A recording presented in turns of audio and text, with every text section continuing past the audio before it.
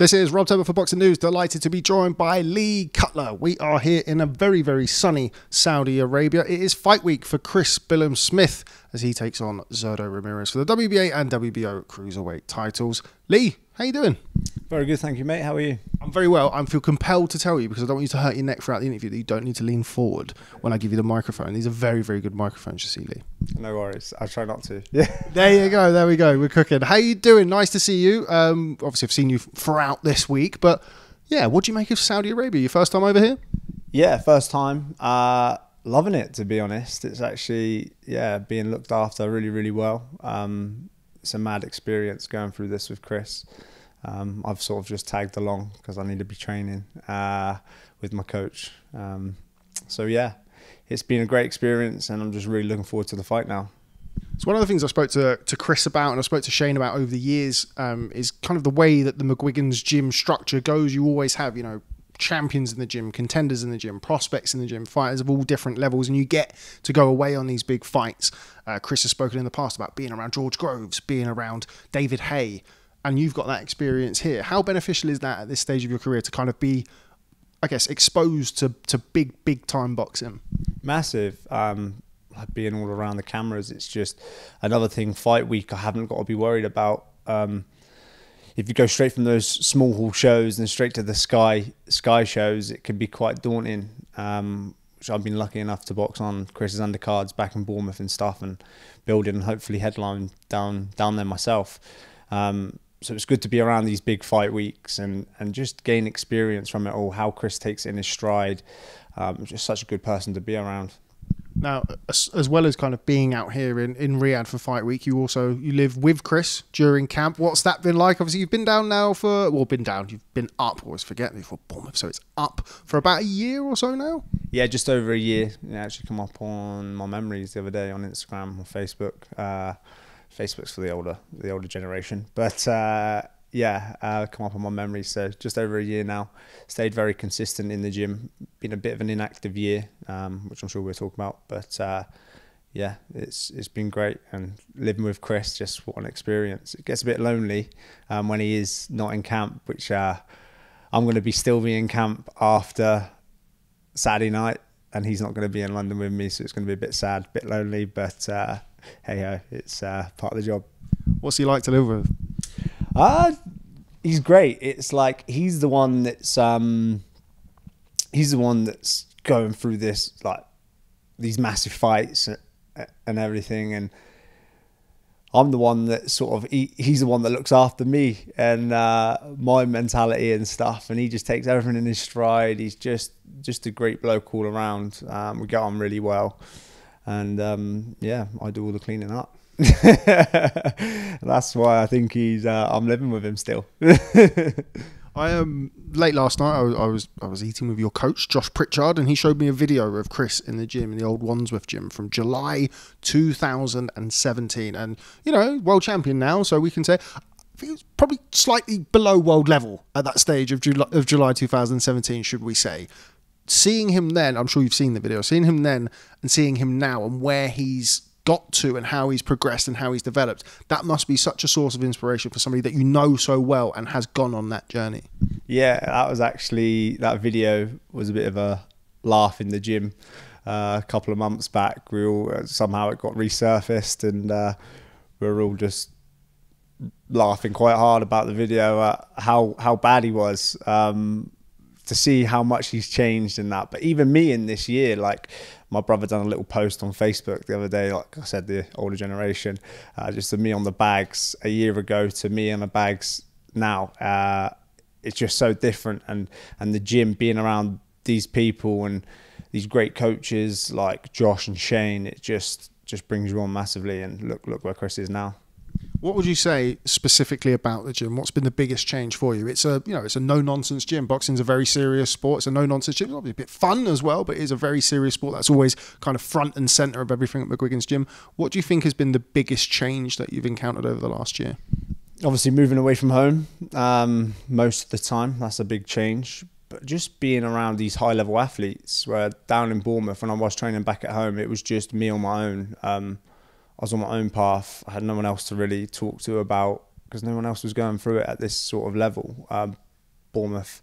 Obviously, Chris was in London, so like I would see him sort of every other like every now and then and like talk to him and catch up. He was the only person that's sort of going through the same sort of experience who I could sort of chat to about it. But um, when I was on my own down there, it was yeah, it felt felt a bit lonely. Do you know what I mean? But now like everyone's in the same boat. Everyone's on these in these big fights, and um, yeah, it's just a great experience to just be around them all, and I'm I'm really uh, really thankful for it.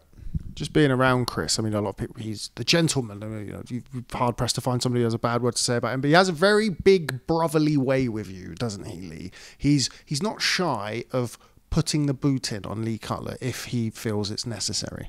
He always does. Um, he always does. Him and Shane are the worst. Uh, Josh is a little bit more lenient with me, even though he's my coach, but he's just a little nicer. But uh, him and Shane, yeah, I'm just like if they're in in not very good moods, I seem to get it in the neck. But uh, I've got to because I'm the new guy in the gym. Do you know what I mean? Um, actually, we've got a couple more new people in in the gym now, but. I'm still getting it in the neck.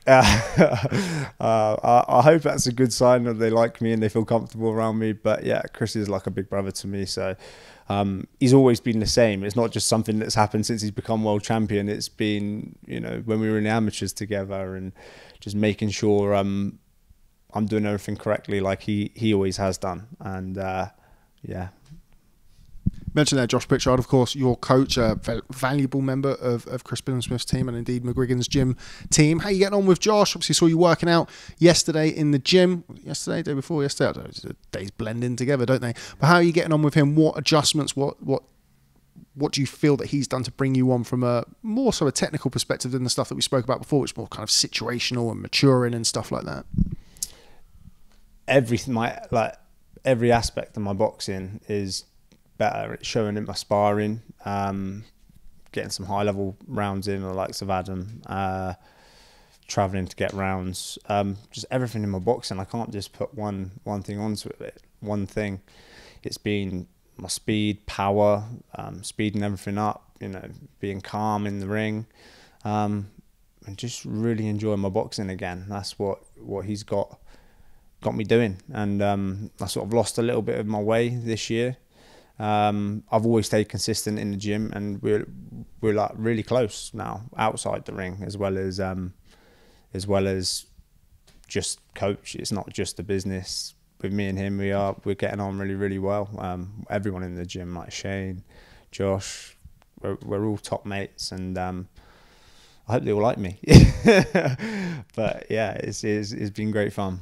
I think it's just their way of showing you that they like you, Lee. Um, but yeah, you mentioned there about uh, about Josh Pritchard and kind of that, that. It's sort of like that family environment that you have in a lot of boxing gyms. Really, boxing is is a very lonely sport, and you know to to have that camaraderie in the gym, it can help you through those those difficult moments. How important is it particularly for somebody like yourself, you've not, you mentioned earlier, not been as active as you'd have liked to have been recently, which I'm sure has been very frustrating in its own way. But having good, experienced people around you can only be a benefit.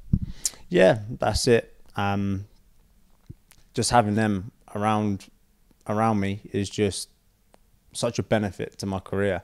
We've um, I sit down and talk to talk to them all the time about things, and I've been a little bit down this year about not being as active as I would like to be and stuff, but they've always sort of snapped my head straight and uh, uh, got me got me to sort of where I am, and now hopefully going heading into the biggest fight of my career, and uh, I'm in the best shape, best form I've been in. I'm doing great in in the gym. I just just can't wait to show it on fight night now. You know.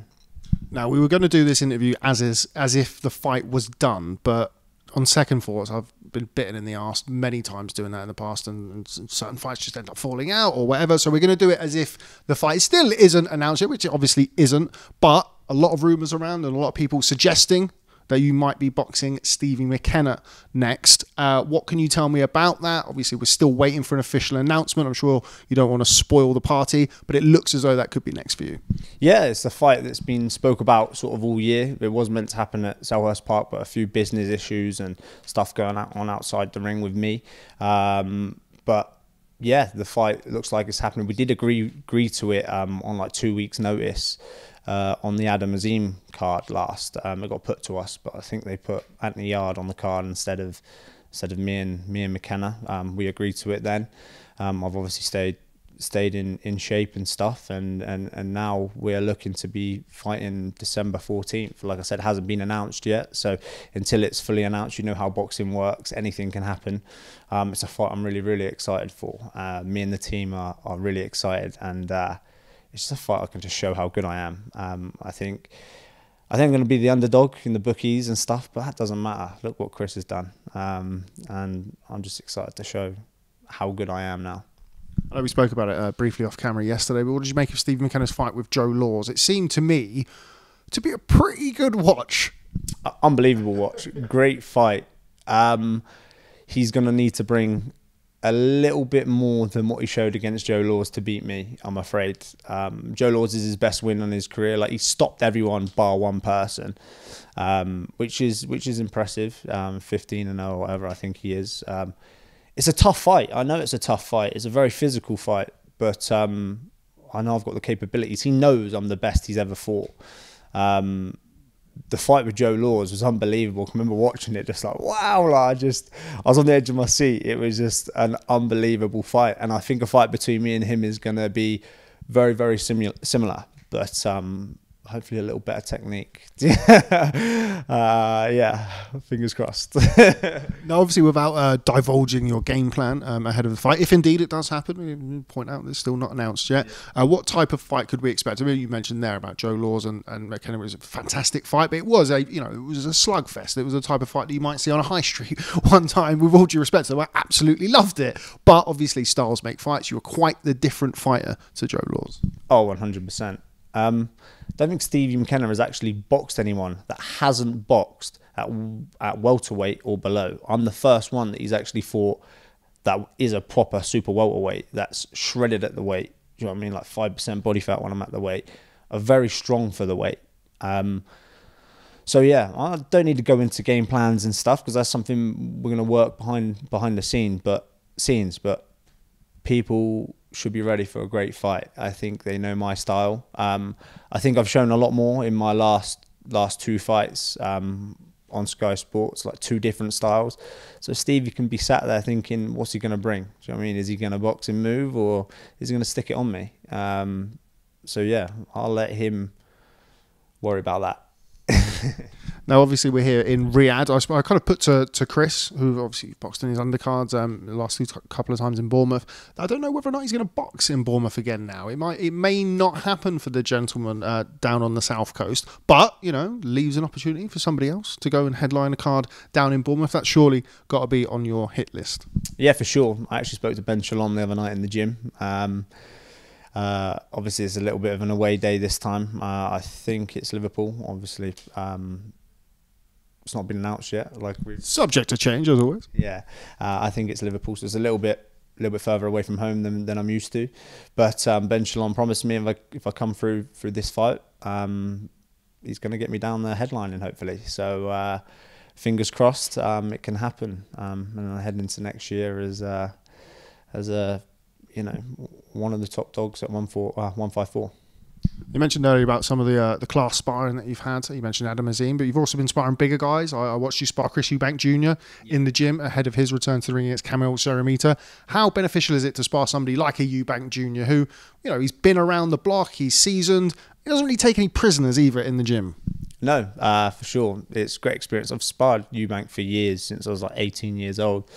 So he always gets me back in because he knows I'm good work.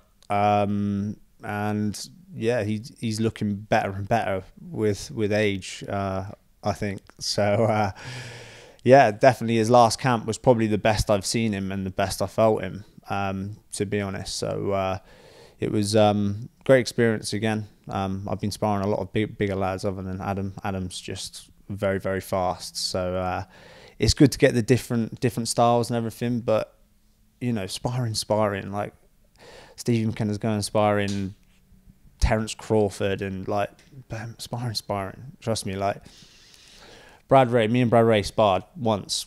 I believe got the better of the spar. Look what happened in that fight. That was when I was very, very young and immature, and I didn't prepare properly for a fight. Um, but we don't need to go on about that. Unbelievable talent, Brad Rea. Really like him as well. Um, but yeah, look what happened in that fight. Sparring, sparring. It means absolutely nothing um, when you get in that ring in, those 10 ounce gloves. And uh, yeah, I'm excited for the fight. Okay, well, we wait for bated breath. We are still awaiting an announcement. Or maybe yeah, take it from here. But anyway, um, back to this weekend and Chris Billam-Smith against Zurdo Ramirez. We are just a day away now from the WBA and WBO cruiserweight titles being on the line. Of course, you're going to be backing your man Chris Billam-Smith. What do you make of the fight, though? Sorry, say it again.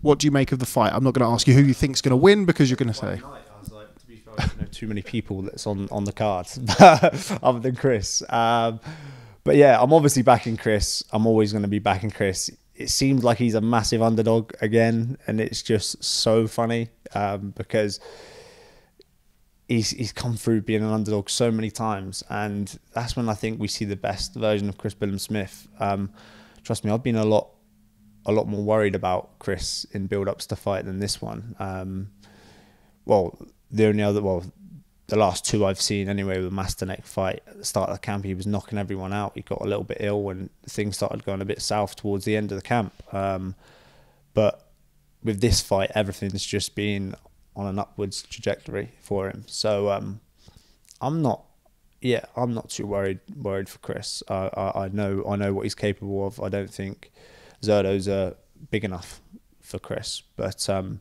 but he's my mate. I'm going to be nervous on the night um, I much rather get in there myself and and fight than than watch a mate.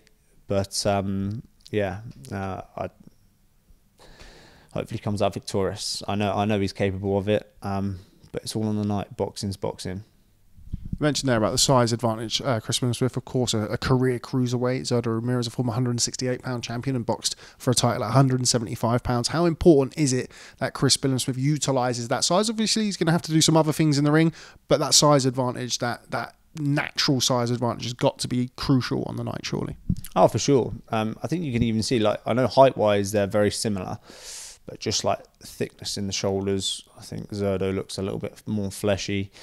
Um, but look what Chris showed in his last fight, like boxing and moving against uh, Riakporhe. Uh, Chris can do a bit of both now. I've seen it in the gym. Um, but size is going to be a big crucial crucial part in this fight, and um, I do believe he's just too big for Zurdo. And what, what a name to have on Chris's record again, with with the likes of Okolie and and Riakporhe. Um, I just he's a good mate. He's got a, he's got a young family, and I just want him to go and go and do well because he's he's a good person as well. You mentioned uh, about him being an underdog again. He was a massive underdog against Lawrence Okolie, and he's a decent sized underdog against Zurdo Ramirez as he was against Richard Riakporhe. But he seems to thrive off that, doesn't he, Billam-Smith? He seems to quite enjoy people. I mean, Malik Scott said some things. He quite enjoys kind of having something to prove, I think. Yeah, I think the, it's a bit different in this fight, him being the underdog. I think he's the underdog in this fight because of we're not in the UK. He's only sort of known by people in the UK. This is going to be hopefully his crossover fight where people start knowing him um, worldwide.